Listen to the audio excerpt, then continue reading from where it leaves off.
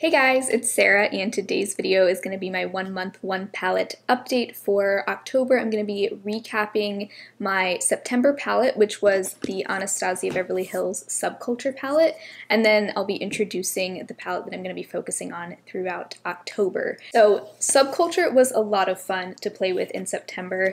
Um, I've said this a few times, so I feel like this is just such a perfect palette for the late summer, early fall period of time. So my goal this month was to use each shade at least three times, and I set a low goal like that because some of the shades in here I just don't use super often, uh, but some of them I use a ton. And on top of that, my goal was also to hit pan on the shade Dawn, which I did hit pan on. I'm so excited. You may have already seen that if you've seen some of my recent videos, but I did hit pan on that shade. Um, I used it, how many times? I used that shade 14 times throughout the month. I pretty much always dip into that shade anytime I'm using this palette because it's it's just a helpful shade, especially with this palette because I do have trouble blending some of the other mattes. That's just a really good blending shade. Um, I use it as a transition shade a lot, and so um, yeah, really useful. I was um, not surprised to hit pan on it, but I'm glad that I finally did. Unfortunately, I didn't hit pan on any of the other shades. I said in my intro for the month that I thought I could maybe hit pan on one of the shimmers. I feel like I'm really close to hitting pan on cube and electric, but the texture of those shadows is so strange. It's it's almost they're almost like a cream shadow. They're very hard pressed.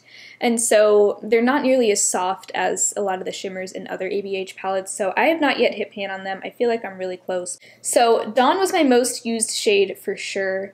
Um, I also used the shade Electric quite a bit. I used that shade nine times. It's a beautiful inner corner shade. It's a beautiful lid shade. I love that color. I think it's probably one of my favorite shades in the palette. Um, it's just different from anything else I have in my collection. Mercury I actually also used a lot. I used that one eight times. That's kind of like a taupey gray shade. It's a good kind of like outer V kind of color or like for a lower liner. Fudge I also, I used that one seven times. That is, um, a, again, a really good lower liner. And then both Cube and Roxy, I used both of those six times. So those were my most used shades. The shades that I struggled to use were Destiny, um, I actually struggled to use Adorn. I only used Adorn three times. That's kind of the bronzy shade. I'm wearing that one today, and honestly, I'm wishing I'd worn that shade more because it's really, really pretty.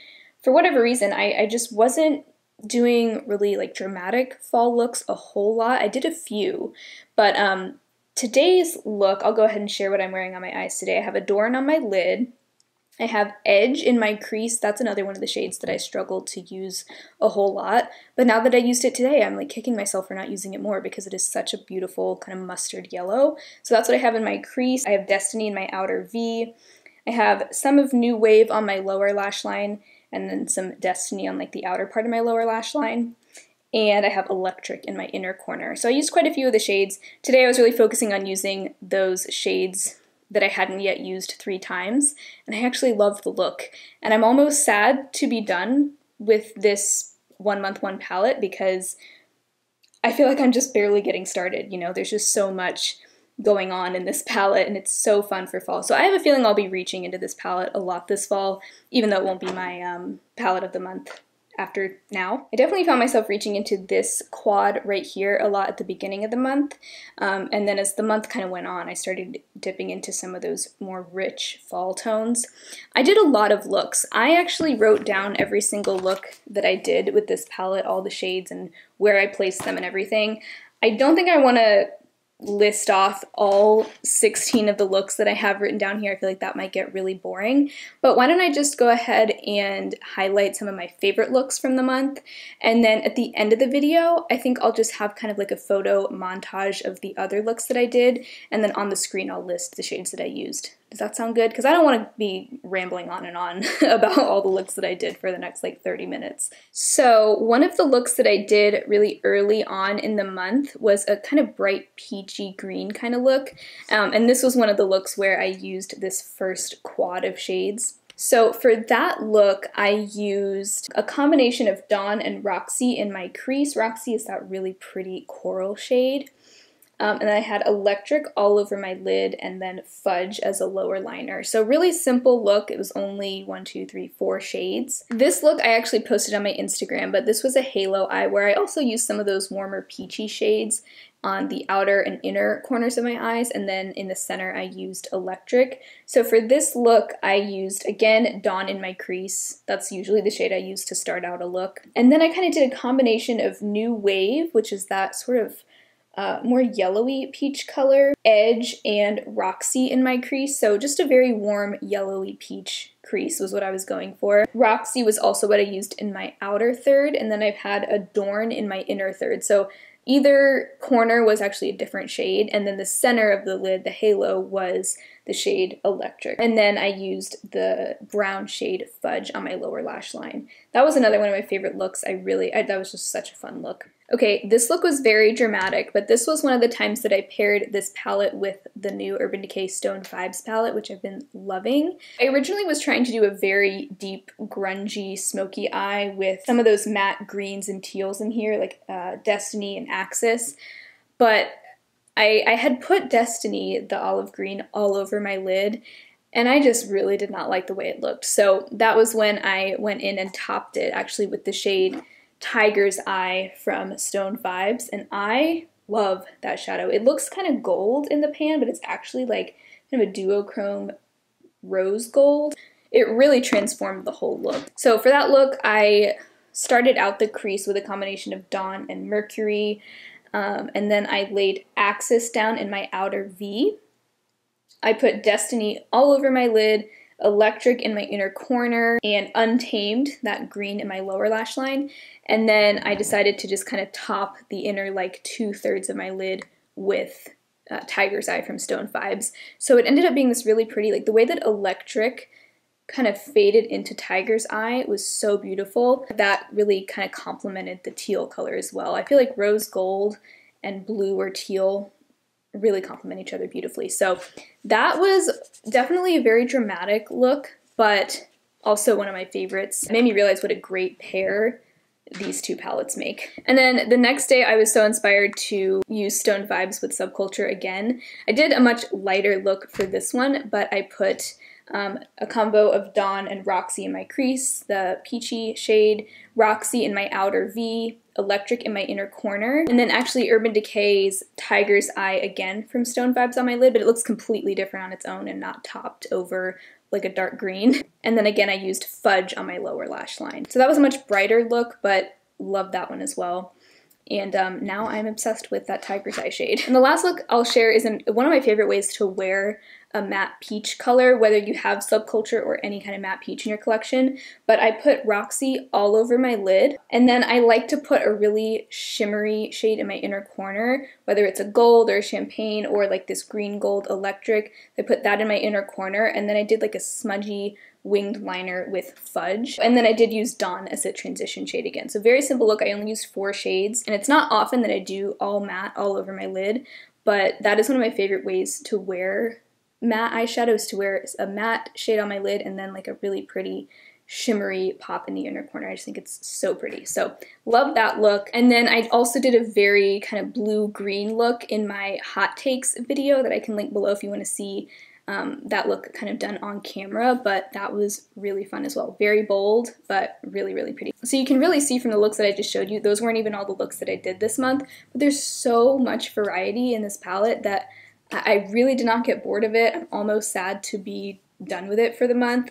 There were also some times that I paired this with some of my Project Pan eyeshadows, so with my e.l.f. Soiree single shadow, with my Wet n Wild Walking on Eggshells quad, um, I was able to pair those together, and you'll see some of those looks in the kind of montage at the end. Is montage the right word? I think so. Um, you'll see that at the end, but yeah, I love this palette. Such a fun palette. You can't even get your hands on it anymore, or at least it's really hard to get your hands on it nowadays, but if you have it, a lot of people told me that you either have this palette or one of the dupe palettes. Like I know there's a Bad Habit dupe and I think a Makeup Revolution dupe too. So um, if you have anything like this, also the e.l.f. Opposites Attract palette is it has some similarities to this as well. So you may be able to kind of shop your stash for something similar to get similar looks. So now to introduce my October palette. So last month I had you guys vote on my YouTube community tab between a handful of different kind of fall-esque palettes uh, that I had chosen and you guys did choose Subculture. So this month I'm not going to have you guys vote. I, I don't think I'll do the voting every single month just because I know there are some palettes in my collection that may not win a poll just because maybe they're a lesser known brand. I think the palettes that are usually going to win are going to be the ones that a lot of you guys also own.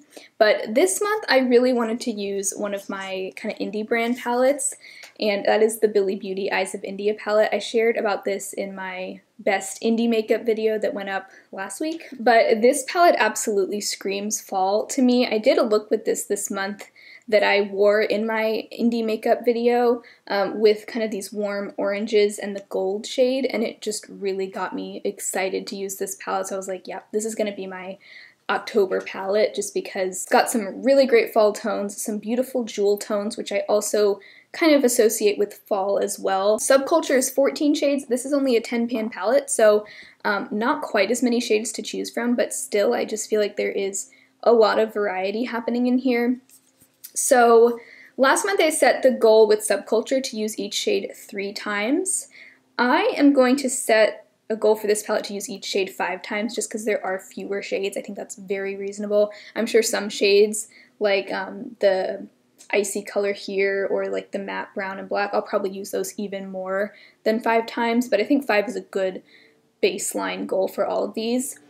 Do I think I can hit pan on any of these?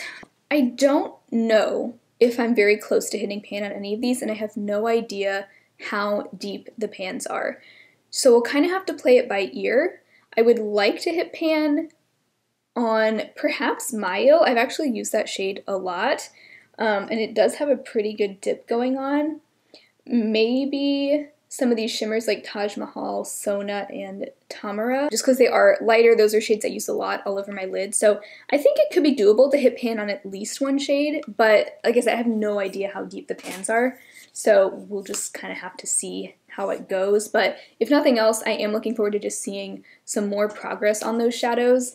And um, as always, I will share a before and after photo of the palette just so that you can see how much progress I did make. So very excited to kick off a new month of One Month One palette. I hope to also at least use it on camera one time this month, whether it's in a get ready with me or I guess it would be some sort of get ready with me because I would be getting ready on camera. But um, yeah, so I'm excited. Yay! I hope you enjoyed this video. If you did, definitely let me know by giving it a thumbs up and subscribing to my channel. I would love to see you again very soon. Um, like I said, I do these one month, one palette videos every single month, and I just recently started this series two months ago. So um, I'll link my previous one month, one palette videos below. And that is all for today. I hope to see you again very soon in my next video. Bye.